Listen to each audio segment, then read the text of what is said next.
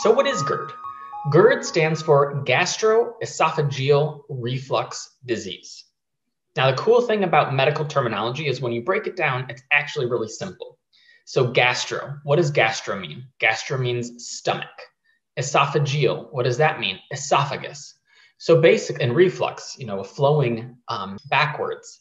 So, in ga- gastroesophageal reflux disease, what we have happening is contents from the stomach instead of staying in the stomach, right, or going downward through the rest of the gastrointestinal tract, it should be a one way direction.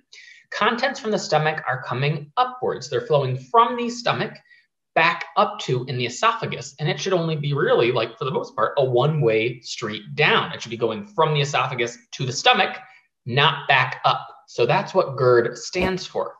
As we can see on that second bullet point, it's the digestive, digestive, I can say that, digestive juices from the stomach are going up instead of remaining in the stomach and you know proceeding downwards.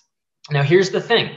Oftentimes when we think of GERD, we think of acidity, too much acidity. But the nature of those contents, they may be too acidic or they may actually be too low in acid.